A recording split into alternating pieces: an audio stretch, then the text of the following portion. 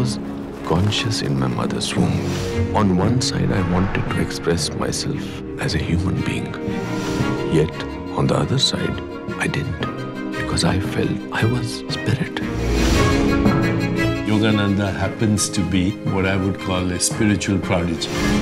Steve Jobs apparently had only one book on his iPad The Autobiography of a Yogi. The LA Times called him the first superstar guru of the 20th century. Through this body, many shall receive the spiritual enlightenment of India. God is taking me away to America.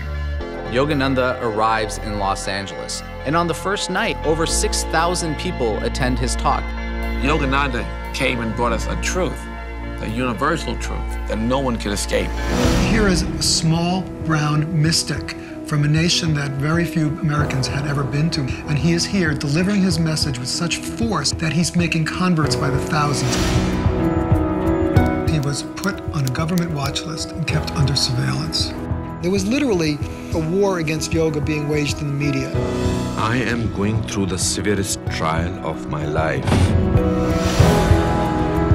Yoga has become something that you do with your body, but it's really about the mind. Yogananda said that there was a secret link between the body and the spirit. The technique of meditation, recharging the body battery with cosmic energy, for it is not a creed or dogma, but the science of the soul and spirit. If I hadn't read that, I'd just be, you know, some horrible person. While he was writing the autobiography, we set off the first atomic bomb. The need for the teachings was more urgent than ever. He always said, the man who can reform himself can reform the world.